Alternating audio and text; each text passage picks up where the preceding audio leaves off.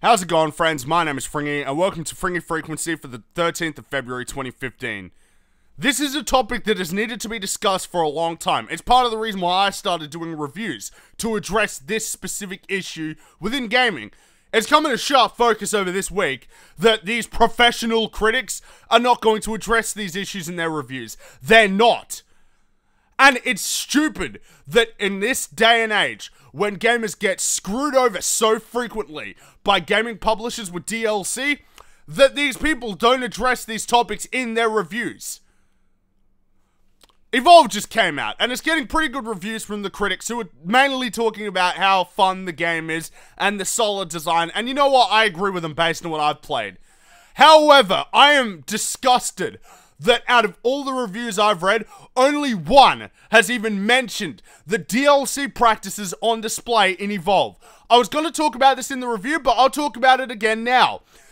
Evolve has over 40 pieces of day one DLC. I know they're cosmetic, but over 40 pieces of DLC worth over $125. So, in order to buy all of this day one DLC, you would have to pay double the cost of the game for stuff that was developed prior to launch and is locked away from you. Now, I've already talked about how day one DLC is just unacceptable in basically any form. Any form of day one DLC is wrong. It doesn't matter if it's a little skin pack or substantial content. When you support this kind of day one DLC, you are ultimately supporting the cause and the and the idea that these guys can take content away from you and sell it to you for extra profit. Content that you deserve. You know, I was getting into it with some people on fucking Gaming Battlegrounds last night, and basically uh, I was trying to explain that these cosmetic items in Evolve that they're locking away from you, this kind of stuff used to be free. This used to be the kind of thing you unlocked. I remember Ratchet and Clank 3, one of my favorite games of all time. That game had dozens of skins. Guess how you got them? You didn't fucking pay for them, you unlocked them through playing the game. Now, they don't do that anymore. You gotta go buy the skins.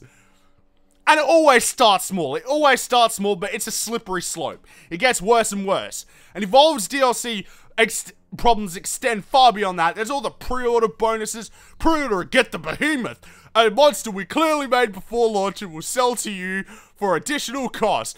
And the fact that they're clearly taken a hacksaw to the content that was there first and just cut it out. And yet, I have only read one review that even discusses this issue. That review was from Jim Sterling. Every other one, haven't seen them mention it at all. And that is downright dishonest. The fact of the matter is, these positive reviews for Evolve, where these reviewers are giving Evolve 8s and 9s without even mentioning the downright fucked DLC practices of Evolve, is dishonest. It's dishonest. And those reviews don't even bother. Don't bother reading them. Because they're not giving you the full picture. The way I look at a review is that you can't review a game in a vacuum. You cannot simply review the game because games are simple are never simply just the game anymore. There's always extra things to consider. You gotta consider the longevity of the game, which people like IGN definitely didn't do. You gotta consider the business practices surrounding the game. Because a review is a buyer's guide, okay? And if you're not covering the aspects of buying that game, then your review is, is, pretty much antiquated. Like those stupid dickheads who gave Metal Gear Solid Ground Zeroes like 9 out of 10 and said it was great. A $30 demo, and they didn't even discuss how that's fucked up in their review. This is the kind of reason why reviews are becoming antiquated or at least these reviews from these professional critics instead of, you know, small time guys like me or even the bigger guys like Angry Joe or Total Biscuit. When you don't cover bad business practices, it pisses people off. Look at the fucking user score of Evolve. It's pretty clear that people are not a fan of this game because of the DLC. Yet the reviewers aren't even mentioning this. It's on the front page of the game! And they're not even mentioning this. This kind of thing should be discussed in reviews. It's really that simple. And the fact that they're not discussing it is just so wrong. But this is not a new issue. This has been something that's been going on for ages. There have been so many games that have released where the reviewers have not mentioned the bad DLC practices. How many reviewers talked about Elder Scrolls Online's issues, where if you pre-ordered you get the 10th race? How many of them talked about that issue? Not a lot, I'll tell you that much. How many reviewers would were going to mention Dying Light's pre-order bonus? Probably none. How many reviewers talked about how fucked up Battlefield 4 was with its DLC? Hey, Xbox exclusive Final Stand DLC comes out on launch for the game. We made it before launch and we're selling it to you later. How many of them talked about that? Zero! A big nothing! These guys are not. If you see any of these reviews where they don't even discuss bad business practices, don't go back. Don't go back to those sources. It's probably going to be hard for Evolve since none of them are talking about it. But when it comes to future games, make sure that you actually, if you're not informed about the game, you got to research it yourself. Or hey, come to me because this. Is, I'll explain this right now. This is the reason why I started doing reviews. The fact of the matter is that when it comes to modern video games, you can't look at games in a vacuum. Yet so many critics do. And it pisses me off. I like to talk about bad business practices. Well, not that I like it, but that I need to. Because it's an important topic that needs to be discussed. And these reviewers aren't doing it. And it's pissing me off. There's a reason why there's like a four point discrepancy between the user reviews and the critics' reviews. When you don't discuss the DLC, you are doing your readers or your viewers a disservice. You are.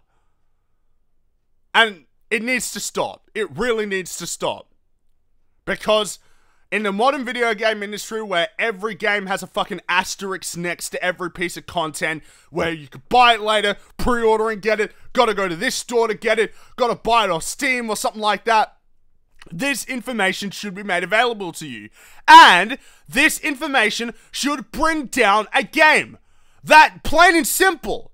If a game is out to screw you over, it doesn't matter how good the game is, you gotta talk about that and you gotta punish them for it. Because these assholes in the gaming industry actually do care what reviews get. Because unfortunately, and this is unfortunate, metascores matter.